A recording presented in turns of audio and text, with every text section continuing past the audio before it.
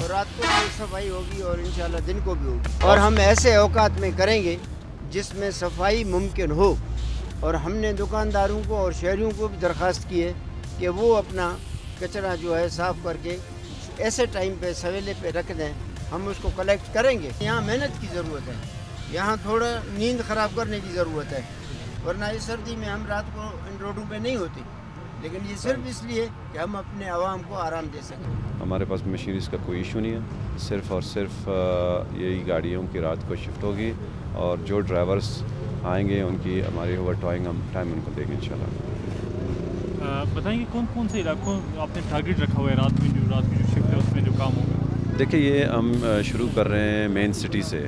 City کے بعد باقی ہم اس کے سبرز میں جائیں گے۔ یہ ایک اچھا امپریشن ہے۔